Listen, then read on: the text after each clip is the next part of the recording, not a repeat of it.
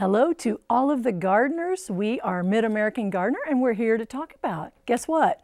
Gardening, plants, landscaping, bugs, whatever comes up. We're happy to chat about it and it just makes our day. I'm Dianne Noland and I teach horticulture at the University of Illinois in the Crop Sciences Department here in Urbana.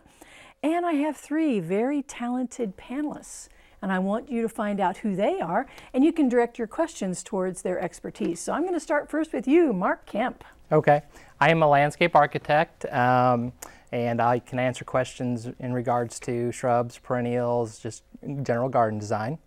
Um, I brought a show and tell tonight. Um, uh, a lot of people are noticing this, both fragrantly and visually. It is a uh, Japanese tree lilac, uh, Syringa reticulata. This one, I believe, is uh, specifically an ivory silk ver version of it.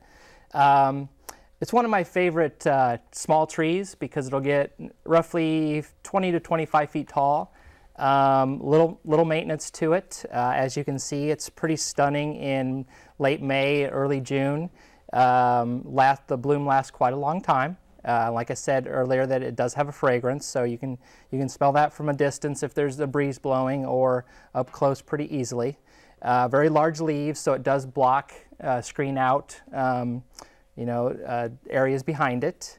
Uh, if you get one that has multi-stems all the way to the base, um, it's kind of like a large shrub as well. But you can also uh, prune those up and, and make it a little bit more of a tree form too, but mostly it's a, a large shrub or a, a very small tree. Um, as you can see with this one, very large bloom and very large leaves. Uh, I also wanted to point out that just kind of planning wise, um, one of my favorites, however, if you get a plant or plant a plant too close to um, environmental conditions that it's going to stress it, in this case, this is from the same plant, um, it's next to a large uh, air conditioner that kind of blows out, and this part of the tree shows a lot of stress to it. Smaller leaves, tattered leaves. Uh, there's rarely flowers in that small section, whereas three-fourths of the plant uh, sh shows like this. So definitely plan ahead when you uh, are purchasing and planting your garden. That way you can give the plant uh, enough room to grow health in a healthy way. That's a shocking difference. Yes. It really. I'm glad it's not very much of the right. of the plant, but I mean it does a really good job of blocking the air conditioner, but it probably should have been, you know, another five to ten feet mm -hmm. out further. I'm so glad you brought that plant because it, they have been fantastic this year. And the University of Illinois campus has a lot of fine specimens. Very right. easy to take care of, very, very few problems. Excellent. No, I've never seen mildew or borers no. go after them, so that's nope. another great that you can leave the flower heads excellent. on, or if you want, you can go ahead and prune those off as well. But uh, it'll be attractive the rest of the year. So Japanese tree lilac. Yes. So write that a little sign on your tree if you get one and people ask you what that That's is. right. Because you saw that, didn't yes. you? Yes. Actually, it was labeled incorrectly. It was a French lilac, but it is a Japanese tree lilac. Okay, very good. Thank you, Mark. And now I'm going to throw it over to you, Teresa Mears. Hi there, It's is Teresa Mears. I'm instructor out at Parkland College. I teach a lot of the general horticulture classes, plant ID, some turf grass occasionally, take care of the greenhouse. So indoor plants is something really in my area. Um, I came across this little plant though when I was out shopping earlier this year. It's the Thuja plicata whipcord. And everybody likes the general arborvitaes. We see them all over as hedgerows. This is kind of a cousin to our traditional arborvitaes. But if you remember last summer, we were losing arborvitaes left and right because of the heat and the drought. They don't like too hot, they don't like too dry. His common name is western red cedar. He comes from the western part of the country, Seattle, Washington State, Oregon, you know, totally different climate.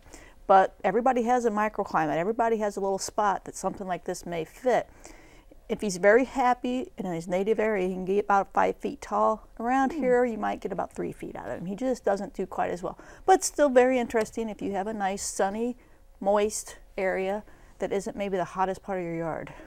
And you could help it to be moist. Oh, yeah. For mm -hmm. a mm-hmm. small plant like that. But he's just a fun little something different. And Thuja, I know people don't really know how to spell it, but it's T H U J A. Mm -hmm. So that's the Arborvitae genus. If you remember whipcord, I think you'll get pretty close to it though. Oh, that is really a cute little plant. Thank you very much, Teresa. Mm -hmm. That's fun. And now we're going to go next to you, David Robson. Hi, I'm David Robson, a pesticide and horticultural specialist at the University of Illinois, same department as Dianne. Mm -hmm. And I have um, two packages as my show and tell, and they're often on the shelves together. One is ammonium sulfate, the other one is aluminum sulfate. And the names sound familiar, ammonium and aluminum. And actually, aluminum sulfate is what we use to make hydrangeas blue. Uh, the hydrangeas need the acid in the soil, but they also need some of that aluminum too. And it's the aluminum that chemically binds within the plant and changes those large macrophylla's hydrangeas, the ones that have the big leaves and suck up the water and wilt seemingly every day during the summertime, at least last year they did.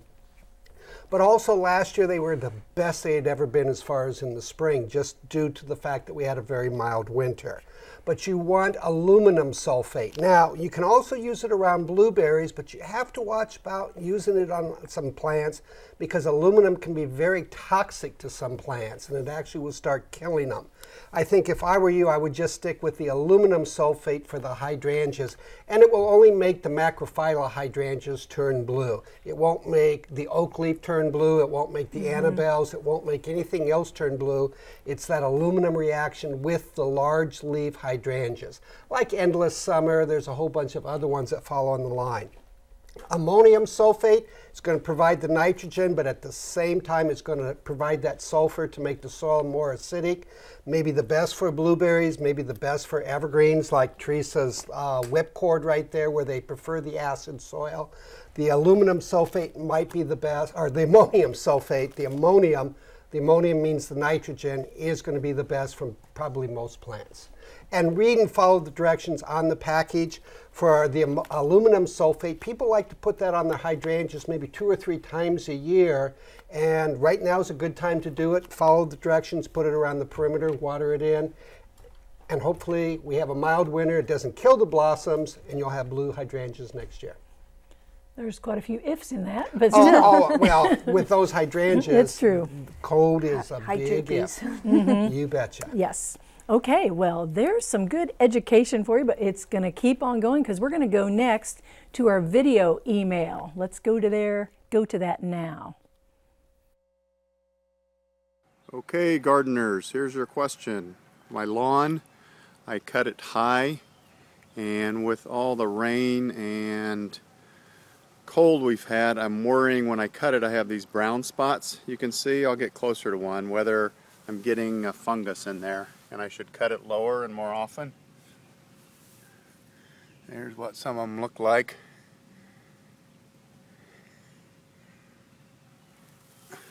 And it's not everything, it's just patches. So there's your challenge. Okay. I always like to hear when someone says, says they cut their lawn higher. Which is good. I really like it. As long as, you know, two, two and a half yeah. inches. That's well, great. Closer to three three and a half. Yeah, I go. Yeah. Mm-hmm, yeah.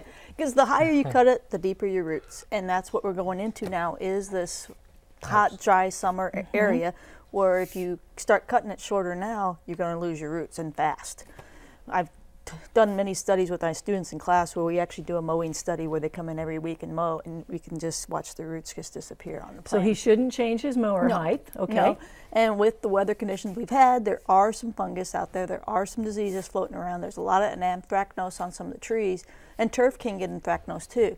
So the weather's changing. I mean, I could use a rain. I haven't been getting it. Mm -hmm. It's starting cool down, but it's going to warm up again in the 80s and 90s, which the grass is going to slow down. I would just ride it out and see that it doesn't get any worse, and then do some overseeding. And then, yeah, come August, rake mm -hmm. out that dead, and that's important to rake out that dead. Mm -hmm. It mm-hmm. will create a thatch layer in there. If he really, or she, whoever, well, it sounded like a guy's voice, so we're going to say a guy, um, but it could be a deep voice woman, so we can't be. I think it might be a they. It could okay, be a family. They. Um, If they really want to see if it is a fungus, the University of Illinois mm -hmm. Plant Clinic can test that. Don't ever send something totally dead. You need to take that transition zone between dead and alive because that's where you're going to see Good if there's a disease there. If we have that screen, we can put that up for the um, The U of I clinic. plant clinic. And then um, make sure that you rake out that dead grass. And as Teresa said, uh, August, September is a good time to go ahead That's and prime time. overseed. And uh, just don't put too much grass seed in there because you don't want that competition. But Right. if you aerate seed, fertilize, water, that grass should come back. And I wouldn't, uh, it doesn't look bad enough that I would immediately run out and buy any fungicides or mess with any of that because we are at this pivotal time where the weather's Mm-hmm. changing and the grass is going to shift. And fungicides for lawns are always preventatives, never curatives. Oh, that's a good point. All fungicides are. So you need to kind of watch Yeah. Mm-hmm. out for that. That if you have something and you put it on, and the cost for a lawn fungicide application is really extremely high. They do it on golf courses, but that's because they water every night and they mow every day, and so they're Yes. encouraging it. But for a homeowner, it's going to be cheaper to put in new grass seed than anything else And that would be in August. in August. or September. Okay, so we think you're doing okay. You just have to maybe not look so closely. Well, there was too much grass there too. I think Oh, there yes. to be more trees, shrubs, and flowers. Then you don't And you mentioned, I think, that. hardscape too. hardscape. He Yeah. may not want that. No, it's, so- it's over or time they. Over time. Okay. All right. Well, we're going to move on to your questions, and we're going to start with line two, and it's a question about peonies. Hello there. Hello. Uh, I have a question about my peonies. Yes. Um, they are always covered with ants, Mm-hmm. and it's almost impossible to have an indoor bouquet. What do you suggest? Well, we can probably all chime in, but I'm going to suggest one thing, and then we might talk why the ants are there. But I'm going to suggest that you cut them in bud, and you you know you'll just they'll still be there, but you just swish it through a little bit of water, leave it outside the water, and take the bud in. You'll get quite a few more days of beauty from that peony, and the ants won't be on there because it's a tight bud, and you'll watch it open inside. Now, there are a lot of theories why the ants are there. I'd say one of them is that it's a higher concentration of sugar in the Mm-hmm. spring. And since the ants are rapidly developing a larger con- qual- uh, colony in the spring, they're looking for any source of sugar, and flower buds tend to be a good source of sugar. You don't need the ants to open the peony buds. No, I and mean, that's, a theory that Right. we want to make sure that we state that the ants aren't going to open the peony Right. buds. They're there because They're sugar sugaraholics. concentrate- Yeah, they're sugaraholics. And, Yeah. and some peonies have more sugar than others, so Mm-hmm. some people don't ever seem to have the problem, and some always have the problem. yes. and I've never seen them on tree peonies. No, I haven't either. So the concentration's different. Must Hmm, be different. Interesting. But uh, I learned that actually from my mother. She takes them in bud, Mm-hmm. and so but the swishing out uh, to get them off works every time. And peonies are such a popular cut flower, so we work with them. You just don't want them out of season because they're very expensive. So Yes. enjoy them from your own lawn. Okay, thank you so much for that question. We're going to go next to line three, and it's about a pear. Hello there.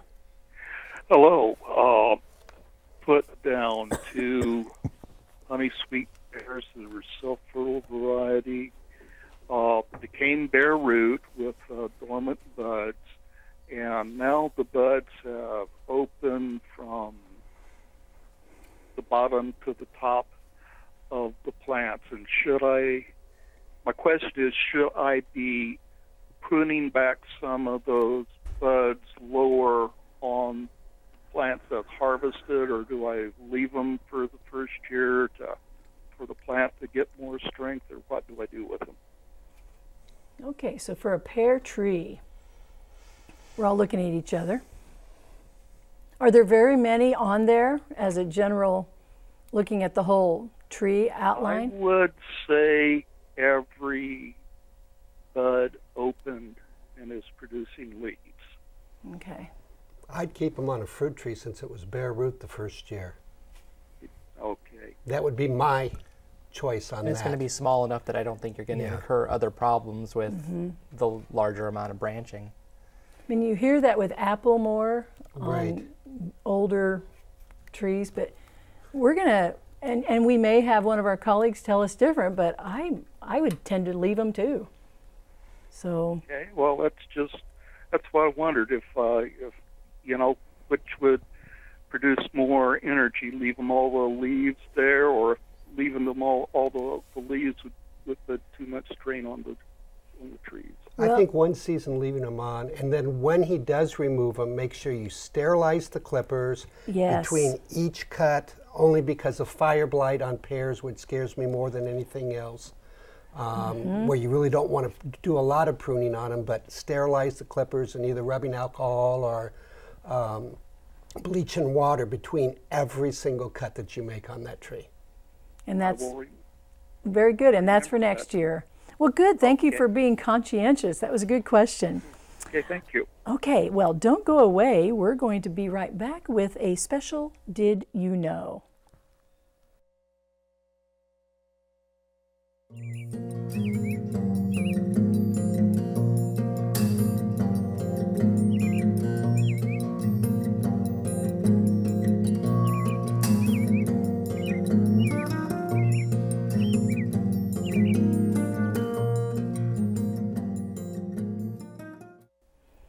Okay, well, we're going to go back to our panelists and answer a question or two here. And so, Mark, I'm going to go to you first. Okay. Um, I have a letter here um, regarding maple trees. Uh, they write uh, that they have uh, several large maple trees in their yard, approximately 60 years old, um, very tall. And one of them has a hole on the north side of it, about four to five feet up from the ground. It is less than a foot in height and about a hand in width. It seems to go about halfway through the trunk, tree trunk. Late last fall, um, they noticed mushrooms or a fungus growing inside, uh, but they no longer uh, they, they are no longer there after winter. Um, but of course, the hole remains.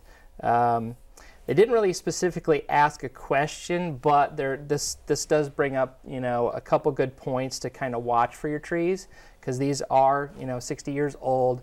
Um, that tree is going to be weakened at that point. Uh, most likely, it originated many years ago with a, a broken branch or a improperly pruned branch that kind of decayed past the, the trunk of the tree, and now you have decay inside the tree.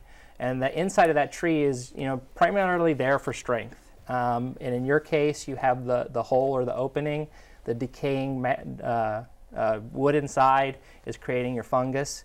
So just kind of keeping an eye on it, keeping it uh, clean and not, you know, wet and moist as much as possible. Um, it's hard to say. You really can't fill in the hole uh, per se, but you're just going to have to keep an eye on it because it will be weaker at that point. And through windstorms and, and such, it, it, it would be kind of a liability. Okay. But proper pruning, that way the tree can heal itself. You don't get that decay. Um, you want to take those branches back to that collar, and uh, other than that, just keep them in healthy condition. Great. Thanks for answering that. And now on to you, Teresa.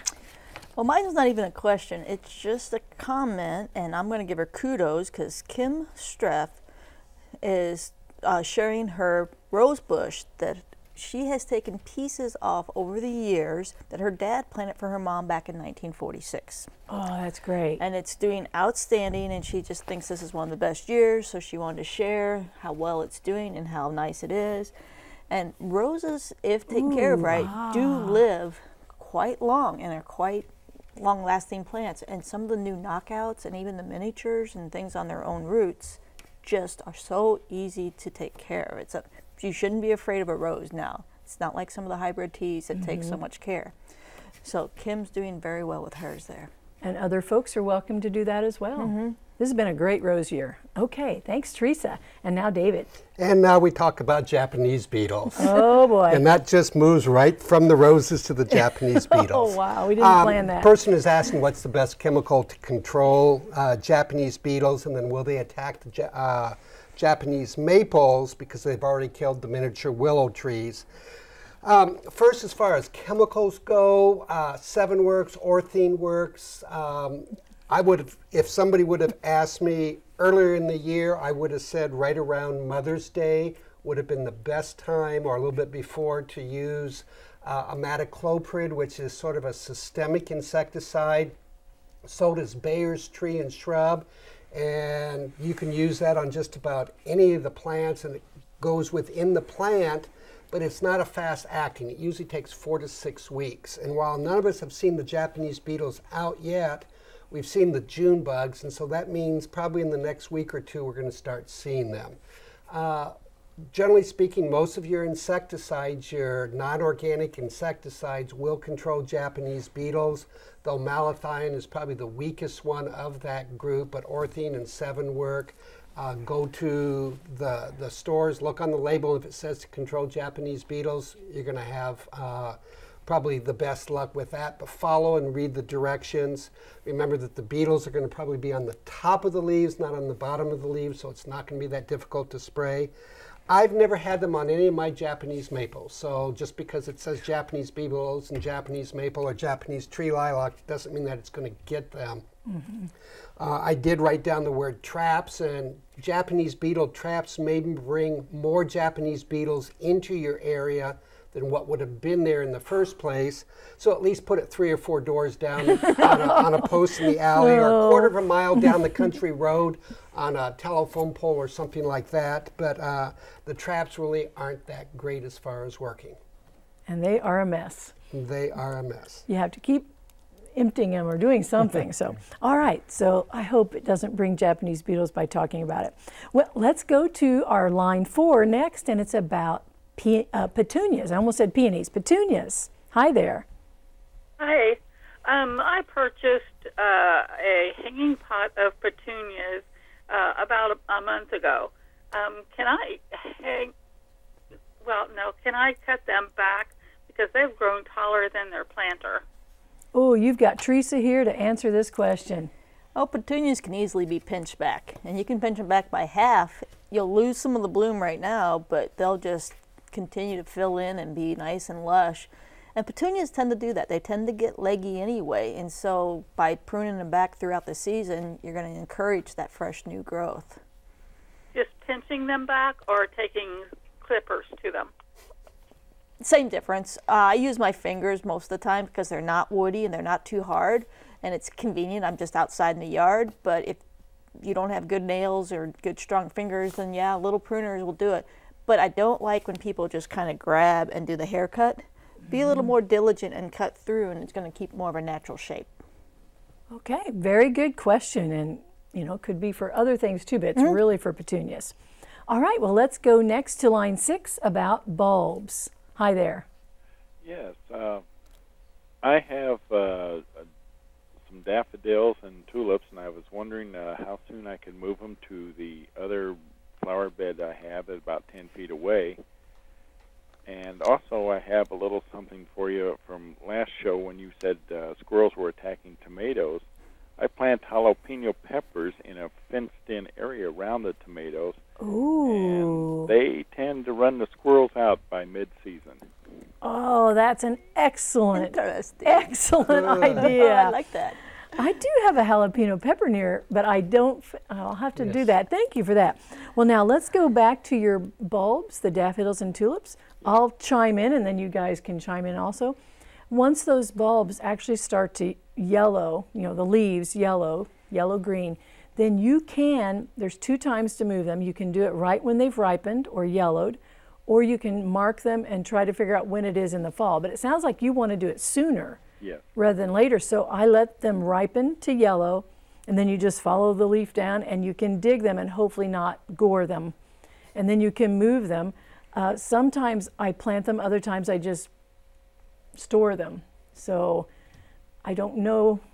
I think you're supposed to put them in when it's a cooler soil temperature, but I have done the other way and it does just fine. So, so I don't know uh, whatever's best for you to do, but you can store them and put them in in fall with cooler soil temperatures. But I have done it right after I've dug them. Well, my grandmother always said plants can't read, so all the stuff that we say in books and yeah. you can't do it, they don't know any different. I've done it in the fall and I've done it right now. Mm -hmm. And on the jalapenos, plant yes. them very close to the tomatoes. and how many did you plant?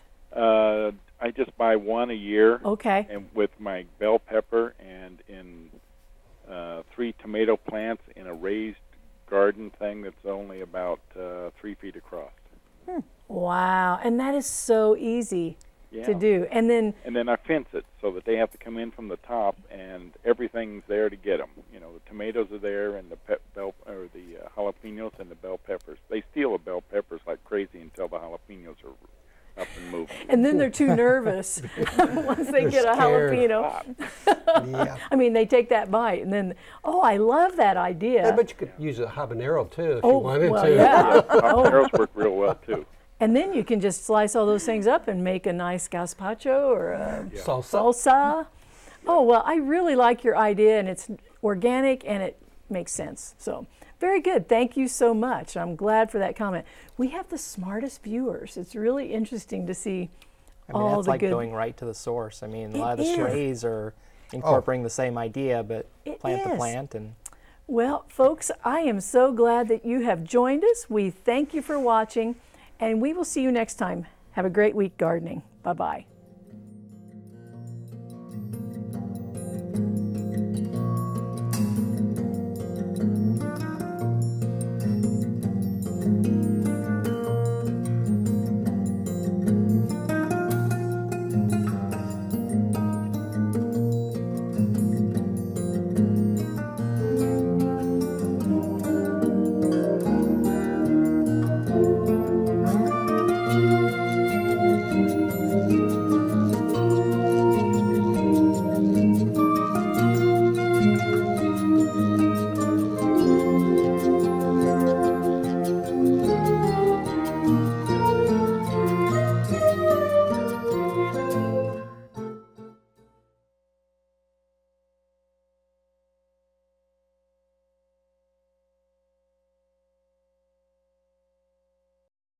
Not Beirut. and I really don't want to live uh, what my parents lived because I know they told us stuff and uh, it seems really ugly.